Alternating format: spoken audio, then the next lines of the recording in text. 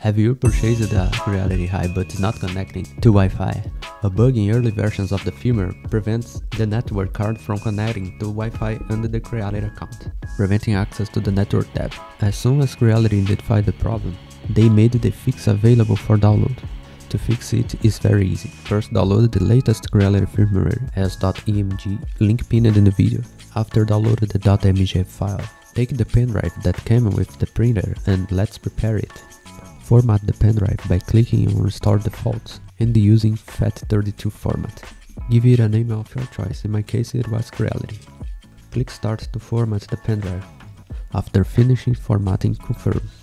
Then move or copy the firmware.emg file to the root of USB stick. Wait for the firmware copy to finish. After moving the firmware file, go to My Computer, right-click and eject the USB flash drive to avoid errors. Then plug the pen drive with the firmware into the printer.